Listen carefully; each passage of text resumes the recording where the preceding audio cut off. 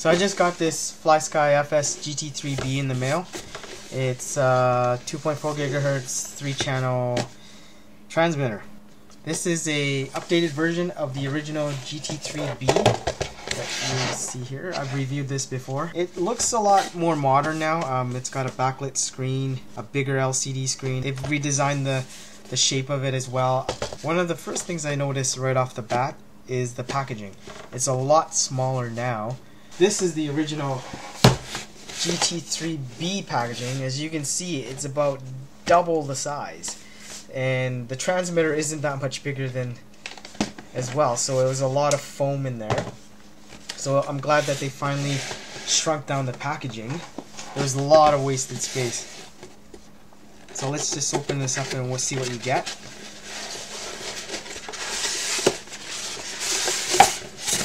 So the packaging now is very minimal.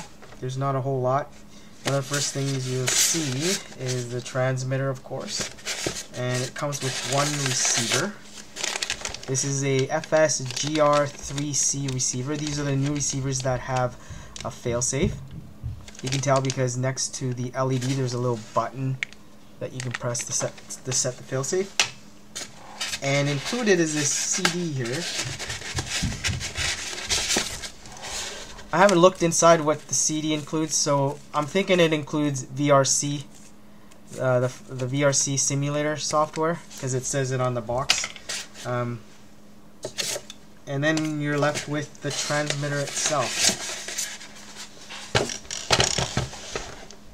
So the transmitter has been redesigned. It actually looks a lot better, I think. Looks a lot more futuristic, cleaner design. Uh, a bigger screen. Most of the buttons are on the top and the steering dial. And the antenna folds down like that. So that's really cool. It looks a lot like the FlySky FS GT2 actually. I have a GT2 right here. So I think they kind of modeled it after the GT2. The GT2 of course is a very simple version of the GT3. Uh, it doesn't have a screen and it doesn't have channel uh, model memory. And it just uses a bunch of dials and switches to change settings so but it's a very capable transmitter. If that's all you really need a simple transmitter. On the side of here you can see the charging port and the DSC port.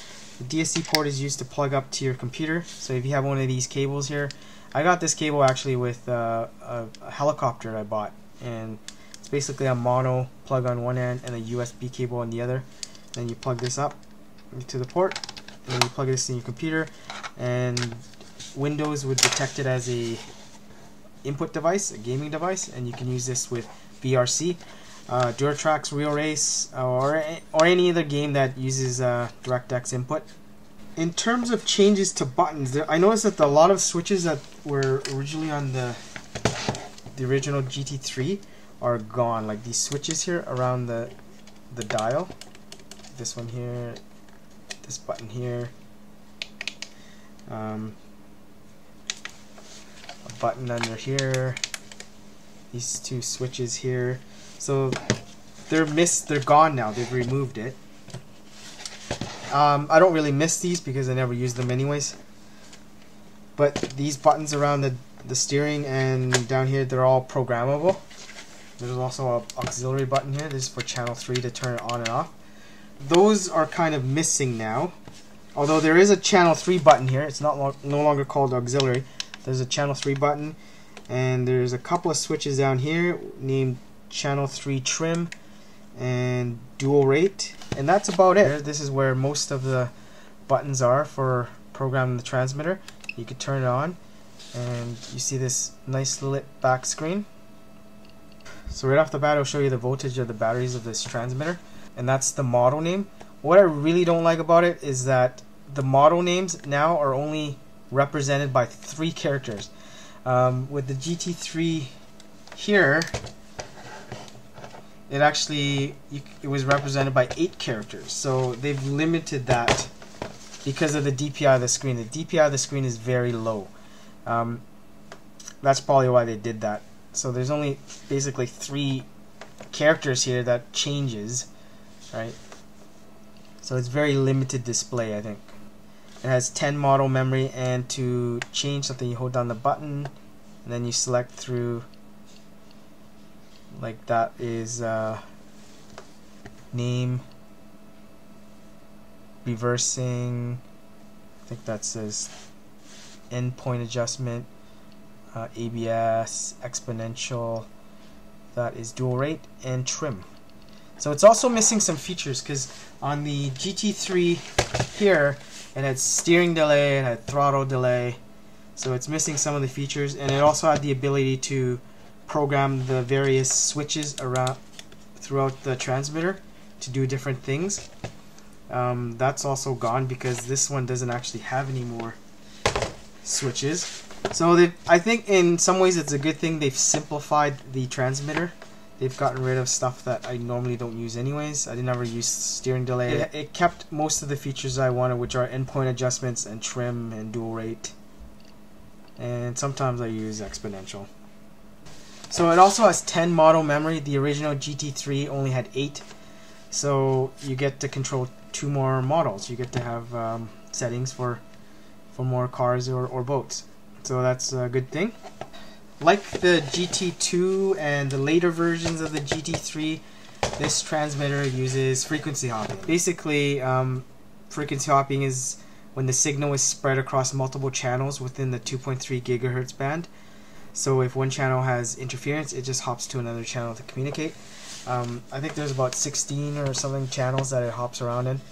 Um, whereas the earlier versions of the GT3 or FlySky models, they only had uh, one channel in the 2.4 gigahertz band to use, which is not good because if there's interference and stuff like that, it would lose signal with the uh, vehicle.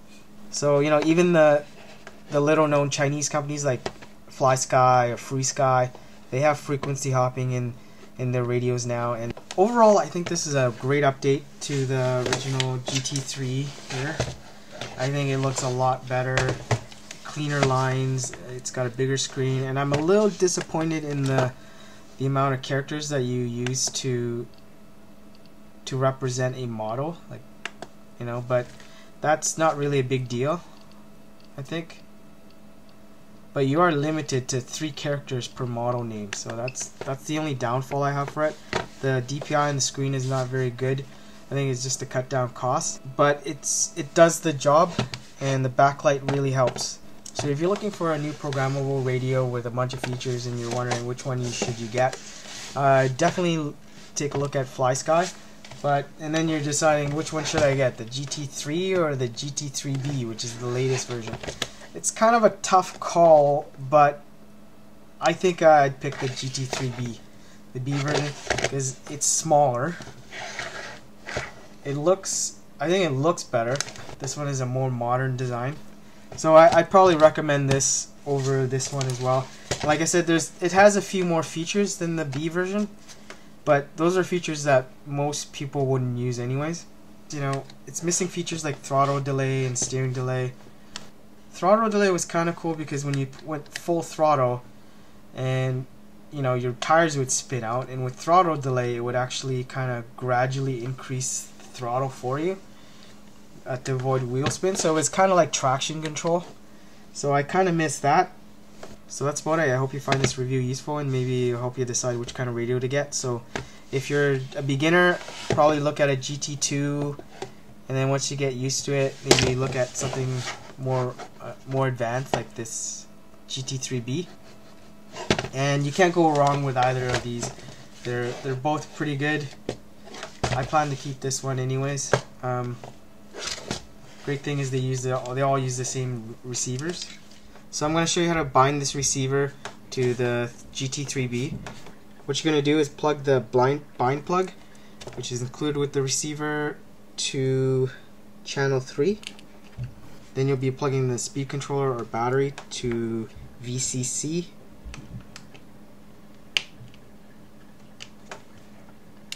Then you'll turn on the vehicle. So when you turn on the vehicle, the LED will keep on flashing, like that. And what you're going to do now is hold down the bind button on the GT3B here, and then turn on the power button, which is over here. So when you do that, it'll start to bind. So once you do that, you'll notice that the light is solid red now. So that means that it's already bound. So this will talk with this receiver only. So what you're going to do now is turn off the battery to the receiver, remove the bind plug, and turn off the, the transmitter, and turn on the transmitter, and then turn on the receiver. So to verify that it is working, I'm going to plug a servo to this receiver. We're going to put it on channel 1, because usually steering is on channel 1. And there you go, as I turn the the steering wheel, so does the the servo moves. So you know it's uh, perfectly bound. So now I'm going to show you how to set the failsafe. So what a failsafe does is when the receiver loses signal with the transmitter, it will return to a preset uh, position. So in the case of a car, you'll want you'll probably want it to go to brake position or neutral. To set the failsafe on a FlySky receiver, it's pretty easy. What you're going to need to do is turn on the receiver and the transmitter. So we'll turn on the transmitter, and then we'll turn on the receiver. The failsafe only works on channel 2, which is throttle. So I plugged up a servo to show you what it does.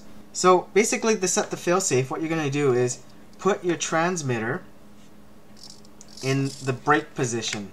So let's say you want to set the failsafe so when the receiver loses signal, it will return the throttle to brake position, like this.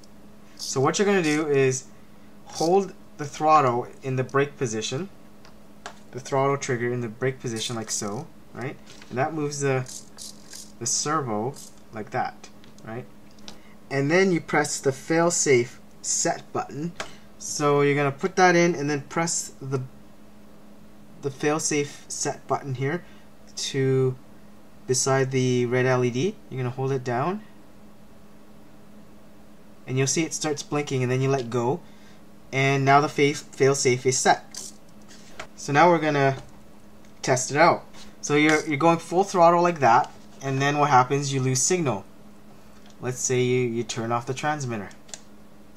As you can see, it moved to the failsafe position. So let's do that again. So the failsafe position is there. Right there. That's brake position right? Right there is failsafe position, and then we go full throttle, which is this position. We turn off the transmitter, it loses signal, and then automatically returns to the brake position. So you can see how this is very useful. It could uh, stop your car from running away if you ever lose signal, if the battery dies on the transmitter or there's interference, whatever the case is, um, it will return to a preset position, which is the brake position, which is really useful.